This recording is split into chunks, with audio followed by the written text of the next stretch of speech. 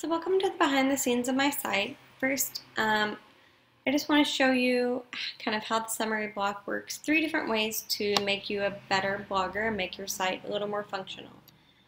So let's start with the actual blog. To summarize, you're going to need to categorize your posts so that you have something to summarize. So if you click on your post each individually, then you'll be able to see tags and categories. For example, my category on this post is color. Now you can be more extensive with your tags, with your categories. I would say keep it neat and tidy. That way you can really get um, the summary that you want. So I'm not going to edit this, but I am going to go back and I've just set up a test page to show this on. So let's say you wanted to create an archive of different things. So an archive for color content. You can add a summary block. Make sure that you're choosing summary and not gallery.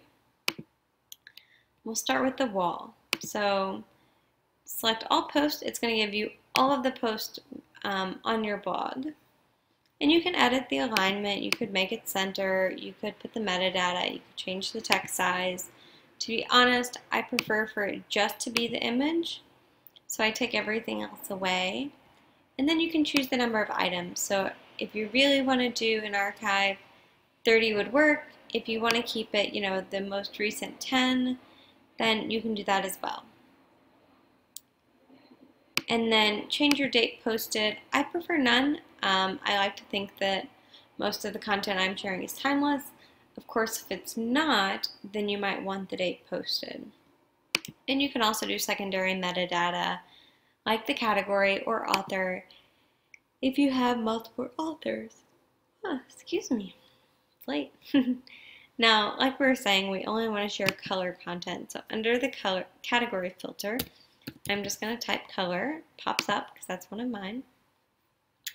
And you'll see that it's now only giving color content. So these are posts that I've made about color. Now, personally, I hate how spread out these are. So I'm going to go back in and go into layout and the gutter width, which is the gutter between the two images, I'm going to tighten this up. I usually like it around a 10 for my site um, and that could change. And if you're using a template for your blog post images,